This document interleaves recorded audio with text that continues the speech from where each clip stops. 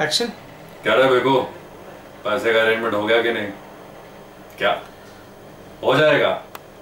अबे साले, तेरी कोई लॉटरी लगी है या फिर किसी बैंक में डकैती डालने का इरादा कर लिया तूने? दो साल से ऊपर हो चुका है। अब अगर पैसा नहीं दिया तो बात यहीं पे बिगड़ जाएगी। हज़ार, दो हज़ार की बात होती तो समझ में भी आता।